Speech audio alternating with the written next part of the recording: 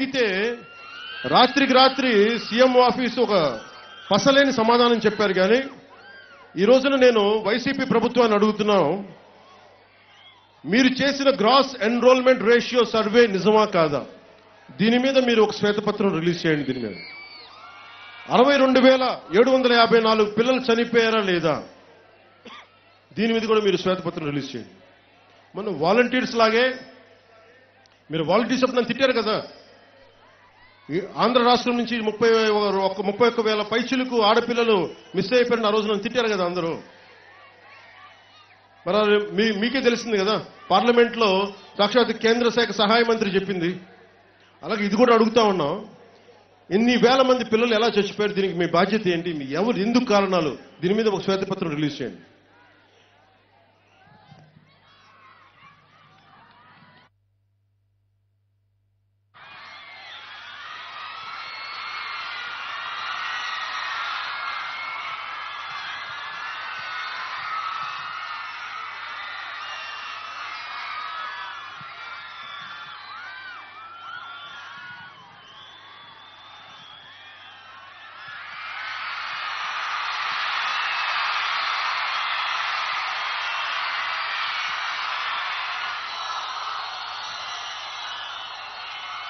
ఈ ప్రతిసారి మీటింగ్ అనగానే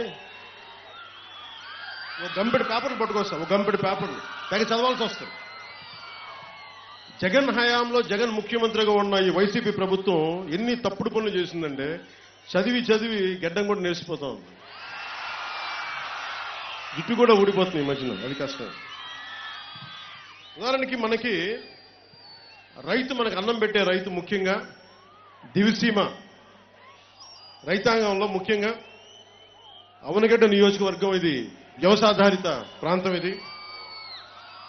ఈ ఖరీఫ్ పంటలో ముఖ్యంగా రైతాంగానికి సంబంధించి అవనగడ్డ నాగాయలంక కోడూరు మండలాల్లో ఈ KEBC canal Krishna eastern branch కెనాల్కి దాదాపు ఈ పట్టిసీమ నుంచి నీటిలో వచ్చే ఇదివరకు. ఉదాహరణకి ఈ అశ్వరావుపాలు గ్రామానికి చెందిన డెబ్బై రెండు వేల ఐదు వందల ఎకరాలకి ఈ ఆయకట్ నుంచి నీళ్ళు రావాలి.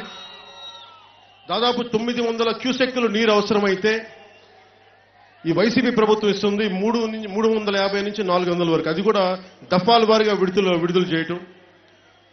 మనకి ఈ ప్రాసెస్లో ఏమైపోతుందంటే ఒకరికి ఒక్కొక్క మండలానికి ఒక్కొక్క గ్రామానికి ఇచ్చే ప్రాసెస్లో వీళ్ళకి వచ్చినప్పుడు నెక్స్ట్ తడి పెట్టాల్సిన టైంలో రాకపోగా నీళ్ళు రాకపోవడం వల్ల పంట ఎండిపోతా ఉంది.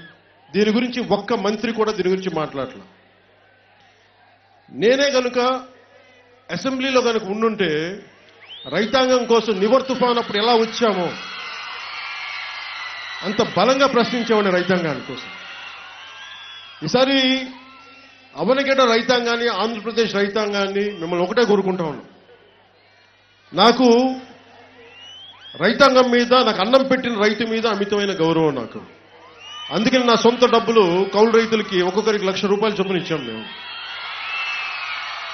ఇది ఇది ఎందుకు చెప్తా ఉన్నా అంటే నేను రైతాంగం కోసం మీకు అండగా ఉండేలాగా మీ మీరు ఈసారి వచ్చే ఎన్నికల్లో జనసేన తెలుగుదేశం ఈ అలయన్స్కి మీరు నిలబడాలని మనస్ఫూర్తిగా ఎందుకంటే మీకోసం కొద్ది మందికి ఇబ్బంది ఉన్నా కానీ తెలుగుదేశం పార్టీ గతంలో చేసిన ఇబ్బంది ఉంటే నేను మీకు హామీ ఇస్తున్నాను. నేను ఒకసారి మాట ఇచ్చానంటే నేను నిలబడతాను. ప్రాణం పోవాలి నాకంటే.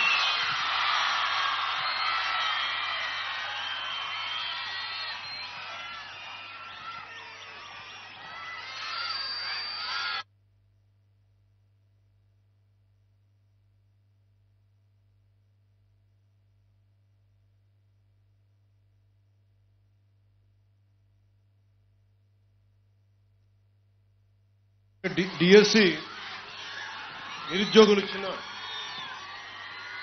రాష్ట్ర వ్యాప్తంగా ఉన్న డిఎస్సి నిరుద్యోగులు ఇచ్చిన మీ వినతి పత్రం నేను తీసుకున్నాను దీన్ని. దాదాపు యాభై వేల ఉద్యోగాలు మీకు రావాల్సింది దీని గురించి తీసుకున్నాను. ప్రత్యేకించి జనసేన టీడీపీ సంకీర్ణ ప్రభుత్వం వచ్చిన రోజున నేను మిమ్మల్ని మనస్ఫూర్తిగా ఈ ఇష్యూ నేను అడ్రస్ చేస్తాను. నేను కోరుకునేదల్లా లాస్ట్ టైం యువత గుడ్డిగా జగన్ని నమ్మి మీరు ఓటేశారు. మీరు ఏం జరిగిందో మీకు తెలుసు. సిపిఎస్ రద్దు చేస్తామని చెప్పి ఉద్యోగులను మోసం చేశారు.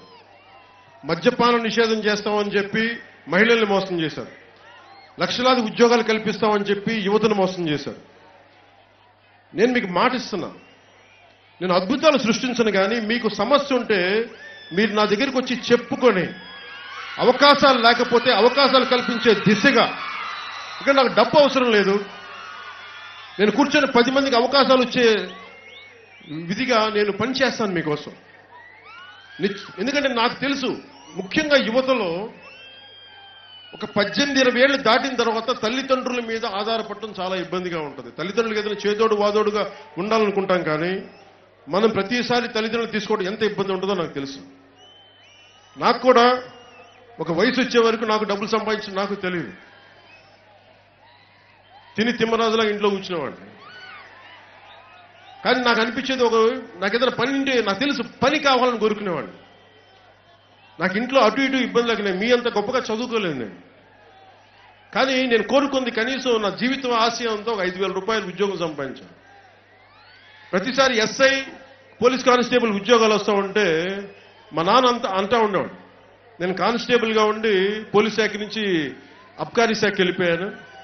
ఏఈఎస్గా రిటైర్ అయ్యాను. నువ్వు కనీసం డిగ్రీ పూర్తి చేసి ఎస్ఐగా స్టార్ట్ చేస్తే కొంచెం పెద్ద ప్రమోషన్ వస్తారు నాకంటే. అంటే మాకు అలాంటి కుటుంబాల నుంచి వచ్చినాం మేము సో నాకు నిరుద్యోగం తాలూకు కష్టం నాకు బాగా తెలుసు.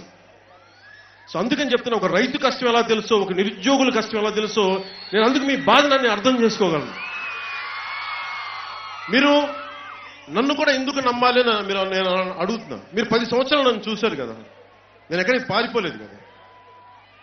ఇంత పెద్ద స్టార్డమ్ ఉండి